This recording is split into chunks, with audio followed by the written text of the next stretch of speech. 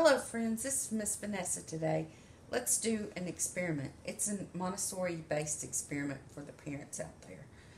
Um, what we need is a large container to put the spills in, two small containers, a sponge, and a cup of water. We'll pour it in this container Then we're going to put our sponge in and let it soak up all the water. We're going to bring it over to this one and squeeze the water out. Go back over here with the dry sponge, put it in the water, let it soak up the water, bring it over to this one and squeeze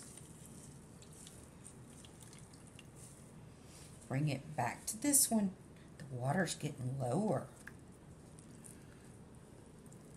And then we're going to squeeze it over here.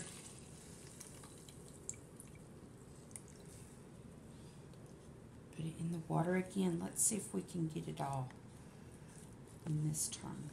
Maybe not. We're going to squeeze it over here. Let's see if we can, just a little bit of water left.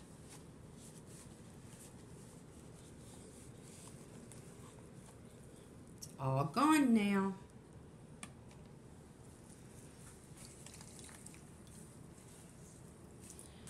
We transferred the water in this container to this one using a sponge. I hope you do this experiment at home, friends. It's lots of fun.